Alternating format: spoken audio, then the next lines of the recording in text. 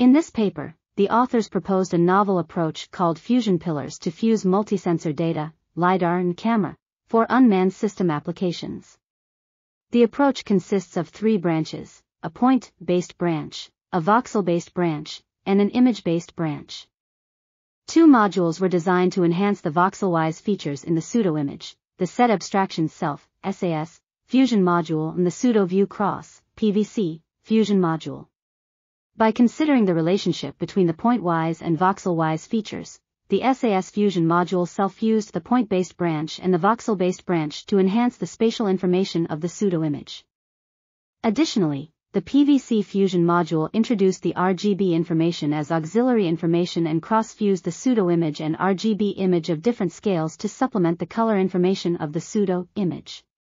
Experiments showed that fusion pillars outperformed other state-of-the-art approaches, achieving better detection accuracy for small objects.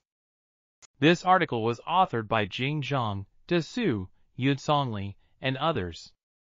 We are RTCL.TV, links in the description below.